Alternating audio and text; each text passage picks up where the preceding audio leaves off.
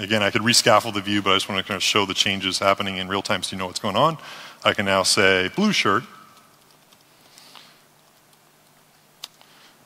And away you go. So basically, uh, we've evolved our schema, we've added a new column, and the beauty is we didn't lose any data. If I want to change things more, let's say, for example, uh, let's make the name uh, property here. Uh, right now, if you look at it in the Server Explorer, uh, you can see that the name property uh, is nullable, which is the default in VS. So you can say, or in SQL, so it says nullable equals true. let's make it non-nullable. So one way to do that in code first is I can actually just add what's called a required attribute, like so. I could then go to the package manager console, and I'm just going to say add migration again. And we're going to name this uh, change product name required. Uh, again, this will look at my schema to look at the database, see what the difference is, and say, oh, we're going to alter the column to make it nullable or non-nullable.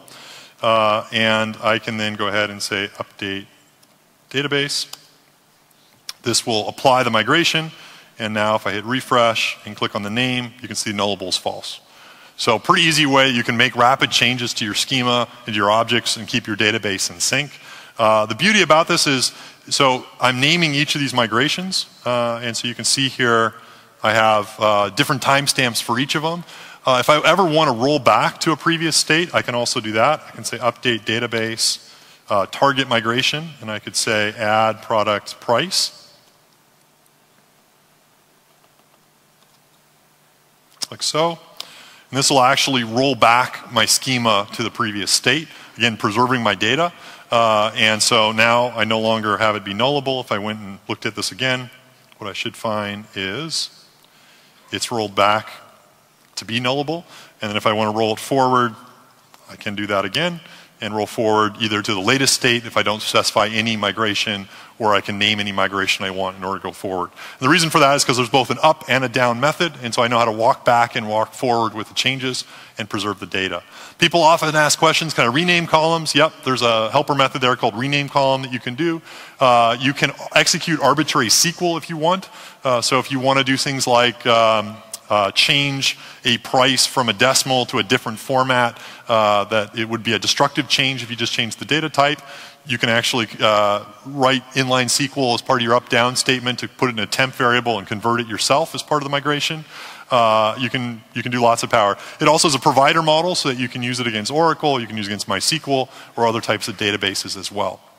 And what's nice is um, when you're actually all in, said and done, and you're ready to actually deploy this app that has the changes. You can also uh, go ahead and let's bump the font up here. Ooh, that's very big. Uh, let's make it. Is you can also go ahead and just say uh, update database script, uh, and you can say uh, source migration. So in other words, where are we starting from? And we're just going to say initial database. And then you can say target migration. Where do you want to actually generate the migrate script to? And so I could either pick the most recent version or just say, uh, sort of to change product name required. Change product name required. Hopefully I spelled that right. Uh, and when I run that, uh, instead of actually applying it to the database, it's instead going to change, uh, create the .SQL file automatically for you. So you can pass this off to a DBA, or a question that came up in the Azure discussion earlier, how do I change my SQL Azure database? Cool thing is you can just save this to disk or copy paste it into the SQL admin tool, execute it against your SQL Azure database, and you've just migrated your schema. And this, so this gives you a way to easily deploy your initial app, and then every time you do a code update that changes the database, this provides an easy way for you to do an incremental change of your schema on your production box. But uh, anyone that still wants to know exactly what's going on under the covers, the good news is you can just look at the .SQL file. You can hand tweak it before you deploy it if you want to, uh, and you're still in full control as part of the system. Other nice thing about this is it uh, integrates well with source control. Uh, and so uh, because these migrations can be checked in and because there's a timestamp, if you have multiple devs working at the same time on a project, uh, they can each check in separate migration scripts and then you can actually reserve, uh, resolve them together at, at, source control time. Uh, and everything can be automated from the command line. So in addition to doing it from the PowerShell window that's built into NuGet, you can also do it from uh, a build server or a continuous integration system, and you can also just run it from a vanilla command line within uh, Windows. So pretty easy way to take advantage of it. Again, you can use it in any type of .NET project. It's not tied to ASP.NET MVC4, and the beauty is it's actually now shipping in released form. Uh, and so if you go to NuGet and just say update package entity framework, you get the latest version and you can do all these things yourself. So hopefully it makes it a lot easier. Um, you'll see even more support coming out this spring so that when you actually use, for example, right click and hit publish inside Visual Studio to do a web deploy, uh, we'll actually integrate with this as well so that we can now do automatic uh, database diffs as well as part of publishing uh, and kind of streamline that process end to end. So it's a feature a lot of people have asked for. Other frameworks, I should mention, do have this. Uh, Rails popularized this. Other frameworks have migration scripts as well. Uh, we try to take some of the best ideas, uh, and then I think some of the entity framework integration, which allows you to kind of integrate with the uh, strongly typed model of your POCO classes, um, helps streamline it hopefully even more, um, gives you a lot of power, a lot of productivity, and hopefully makes your lives as developers even easier. So that's migrations. Moving along, other new features. Uh, web APIs. How many people here are exposing web APIs inside their apps? Cool. How many people here have heard of web APIs? Cool. How many people here drink coffee? No. Uh, same number, fewer people than last time. But uh, um, you know, one of the things we're investing in pretty heavily with this release is web APIs, both calling them as well as, consume, uh, as, well as generating them within your application. Uh, and uh, we think this is kind of a, a pretty big step uh, forward um, for applications going forward. Uh, and um, you know, we think the, the support that we have and that's new in MVC4 will make it really easy to build them um, and uh, uh, do some cool things with them. Before we get to the what, though, let's talk a little bit about why. Why, why should you actually care?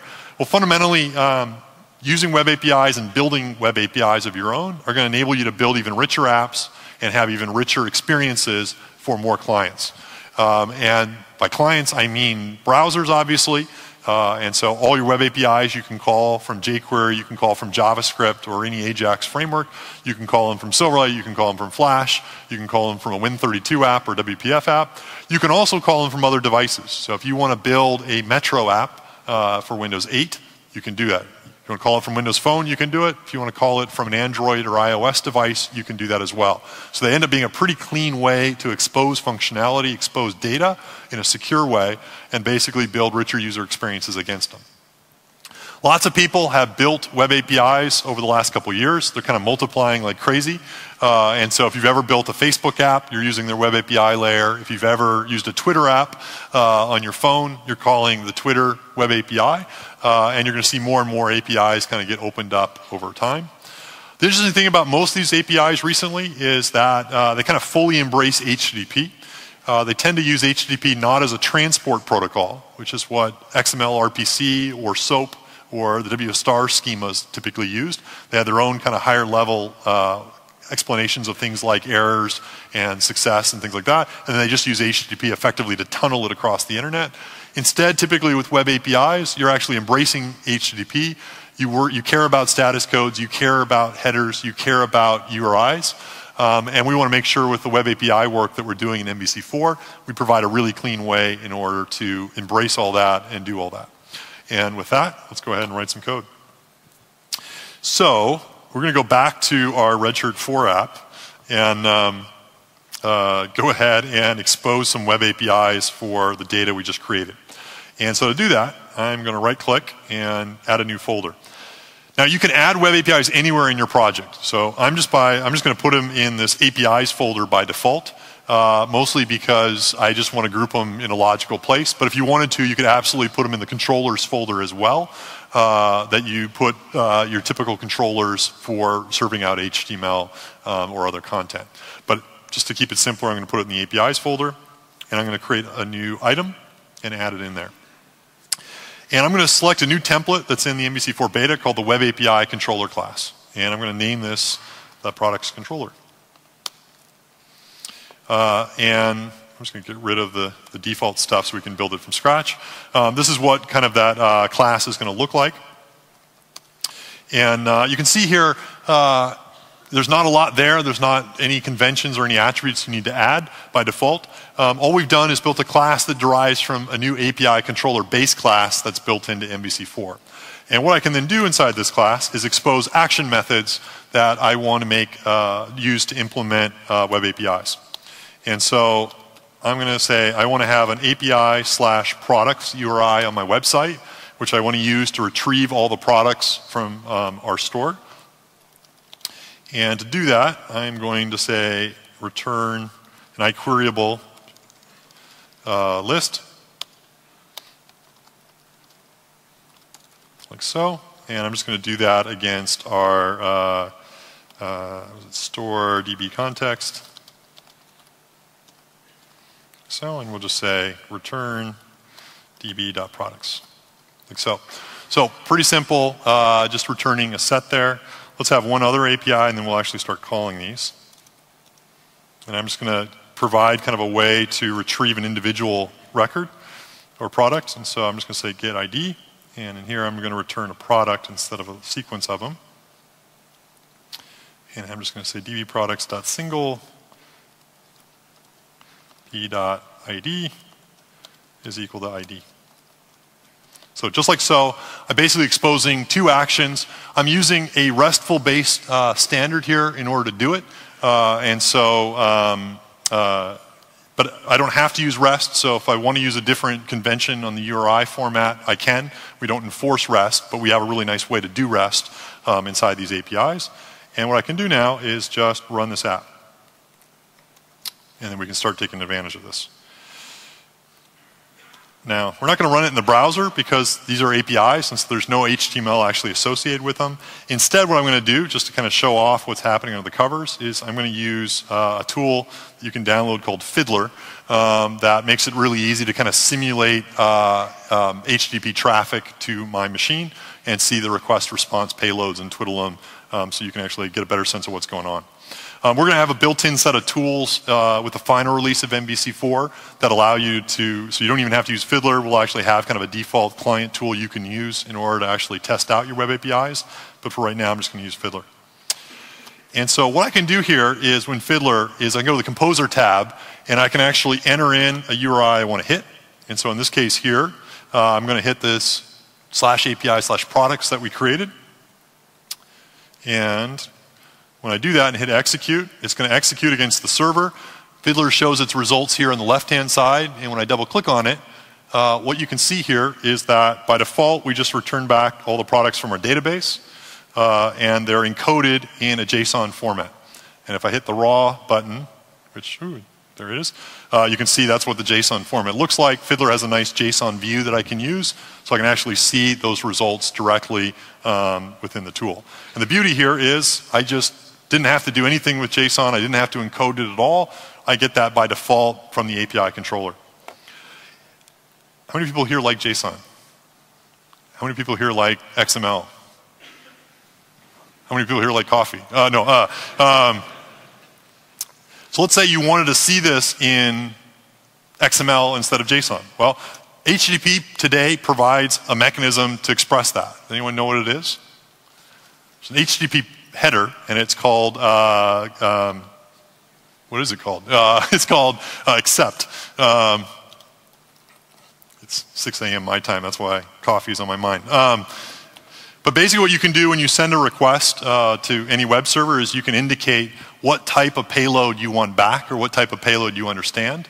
By default, we'll send back JSON from web APIs, but if I want to, I could just say, hey, what I really want is XML, hit execute. Uh, You'll notice there's a different icon here in Fiddler, and if I double click on it, instead of JSON, what I'm getting sent back is an actual XML representation of my products instead. And the beauty here is I, as a developer, didn't have to actually uh, do any code in order to support multiple uh, formats.